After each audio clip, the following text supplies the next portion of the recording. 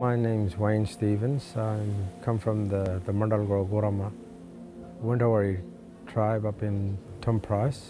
And also I have connection through my mum and my mum's parents within the Yindjibarndi tribe.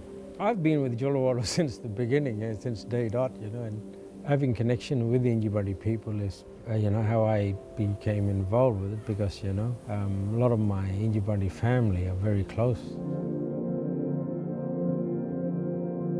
Basically all around wood carving and the, the traditional past instruments that artifacts such as the boomerangs, the hunting spears, the woomera, and some yandi bowls, and the tapping sticks, you know, they make a sound that's really high pitched in nature's frequency as well, you know. Gundu is the mask, you know.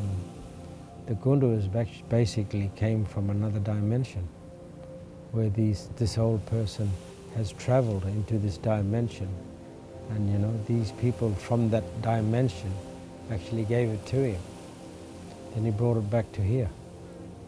It's quite magic.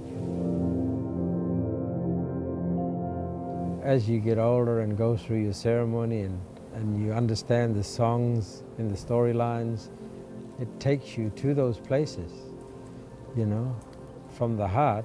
And it's how we breathe life into country, into acknowledging every living thing on the planet.